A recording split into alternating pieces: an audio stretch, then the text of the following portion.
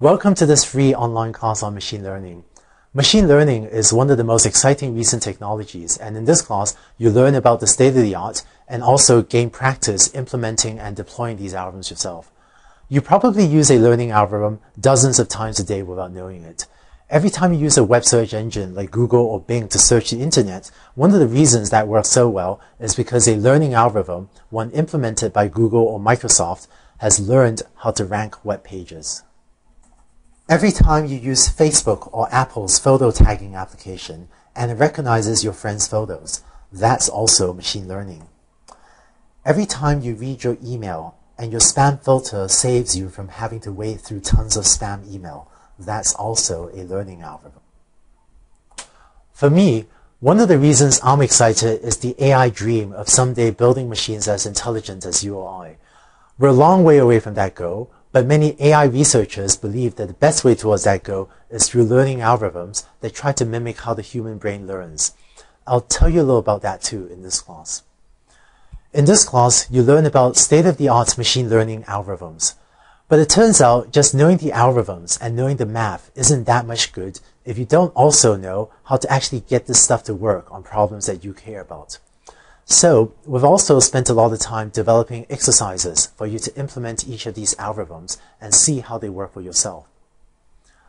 So why is machine learning so prevalent today? It turns out that machine learning is a field that had grown out of the field of AI or artificial intelligence. We wanted to build intelligent machines, and it turns out that there are a few basic things that we could program a machine to do, such as how to find the shortest path from A to B. But for the most part, we just did not know how to write AI programs to do the more interesting things, such as web search or photo tagging or email anti-spam. There was a realization that the only way to do these things was to have a machine learn to do it by itself. So machine learning was developed as a new capability for computers, and today it touches many segments of industry and basic science. For me, I work on machine learning and in a typical week, I might end up talking to helicopter pilots, biologists, a bunch of computer systems people, so of my colleagues here at Stanford.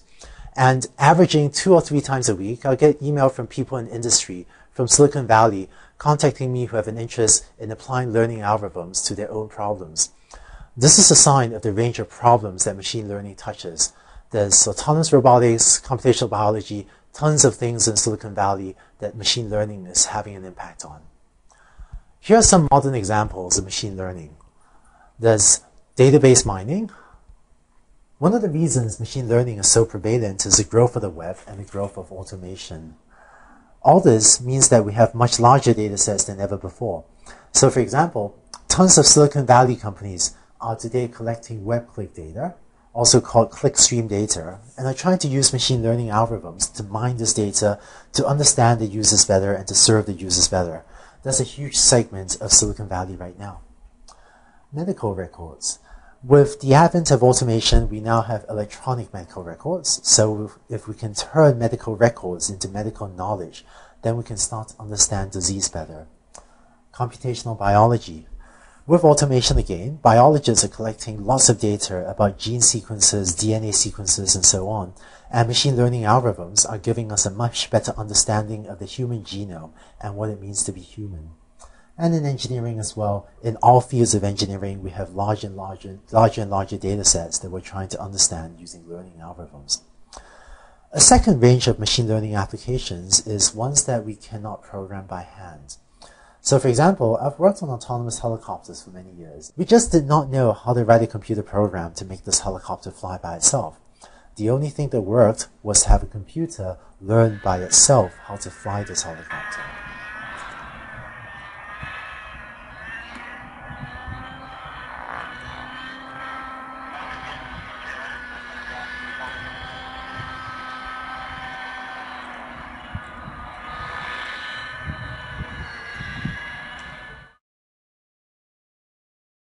Handwriting recognition. It turns out one of the reasons it's so inexpensive today to route a piece of mail across the country, so uh, in the US and internationally, is that when you write an envelope like this, It turns out there's a learning algorithm that has learned how to read your handwriting so that it can automatically route this envelope on its way. And so it costs just a few cents to send this thing thousands of miles. And in fact, if you've seen the fields of natural language processing or computer vision, these are the fields of AI pertaining to understanding language or understanding images. Most of natural language processing, most of computer vision today is applied machine learning. Learning algorithms are also widely used for self-customizing programs.